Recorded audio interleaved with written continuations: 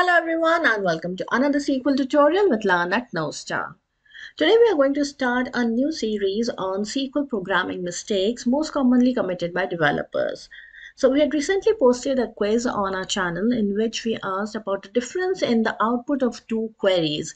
One of the queries was using an AND condition on the join and another query was using a where after the join condition. We also changed the joins from inner join to left outer join. So we'll first uh, let's understand the scenario which we had in the quiz. So we had two tables called employee and department. The employee table had some four sample records. You can see the employee ID is related to a department ID.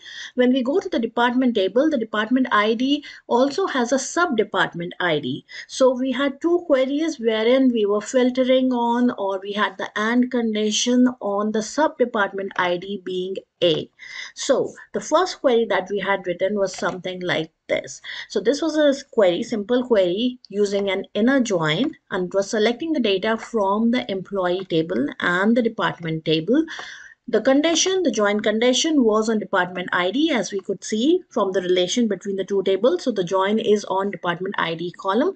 And then we said that and department sub-department ID is equal to A. If you go back to the data over here, you will see that department ID 1, 2 and 4 have the subdepartment ID as A, but department ID 3 does not have the sub-department ID as A. So this record, what happens to this particular record, that is what we are concerned with.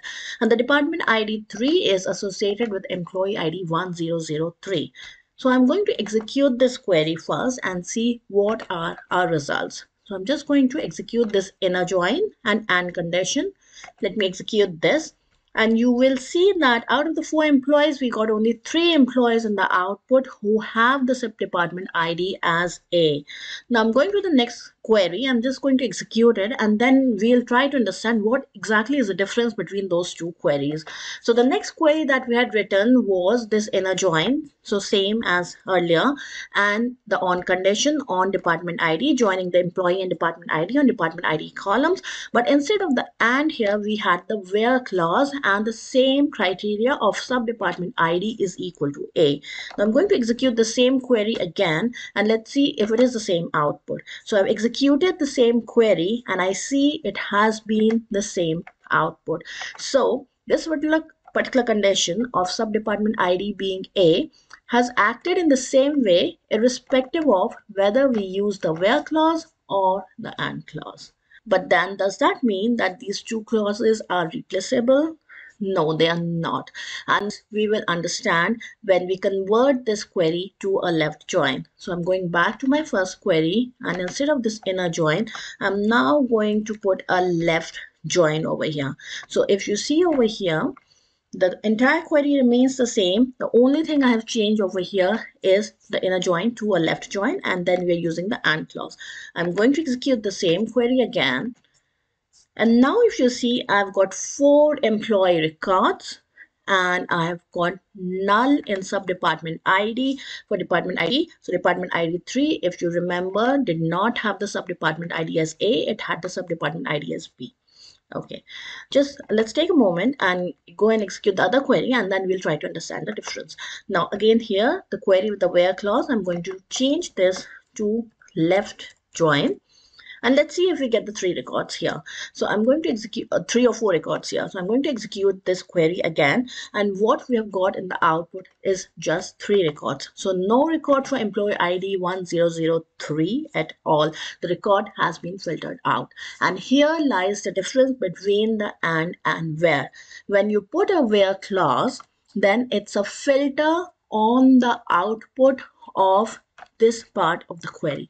So whatever is the query, whatever joins you have performed, whatever are the results which are obtained after the joins, they will be filtered based on this where condition. Where condition is simply a filter and then the joins would be performed first, whatever is the output you get from these joins. So if you just execute this part, what you're going to get is all the four records. Now out of those records, as soon as you write the where clause and this particular condition, this result set will be filtered on the subdepartment ID as A. So only those records will be selected which have the subdepartment ID as A, which are going to be employee ID 1001, 2, and 4. 3 will be filtered out. So there will be no record for employee ID 1003 in the output. There will be just 3 records in the output, even though this is a left join.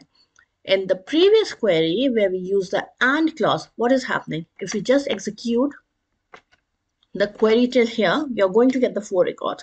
Now this AND is an additional condition of the join on the department table. So what we are telling it here is that you have to first restrict the records of department table only to sub-department ID A. So you have to perform this join between the employee table and the department table records only those records of department table for which the sub-department ID is equal to A. So here we are effectively telling it that the sub this table, table department has we are going to only consider those records in the department table where the sub department ID is equal to a. So if I include this condition right here, what I'm going to get is only three records. So now you are joining between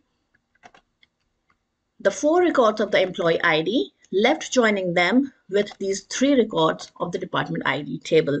So what is going to happen, since it is a left outer join, you're going to get all the records of employee ID, irrespective of whether there is a match in the department table or not. If there is a match, you're going to get the value of the sub-department ID as it is populated in the department table. If there's no match, then you're still going to get that record from the left table, which is the employee table, but the table of but the value of the sub-department ID is going to be null as is in this case below. So if I execute this query again, what's going to happen is that I'm going to get a value of null in the sub-department ID. So the number of records is going to vary over here. The sub-department ID is going to have a null value and there will be four records in the output. Whereas if you go back to the previous query with the where clause, the all the records which do not have sub-department ID as A will be filtered out of the final result set. So your number of records will be restricted based on whatever is your where clause condition. So this is the difference between the where and and when you use it in your after your join conditions. This query was asked by one of our viewers. So thank you for asking this query. This is an interesting scenario and one that might be a common scenario for SQL programming mistakes. We will be posting more quiz on SQL programming mistakes and then explanation videos on them. So stay tuned and please subscribe to our YouTube channel if you like these quizzes and the videos that we post. Thanks a lot for watching. Goodbye.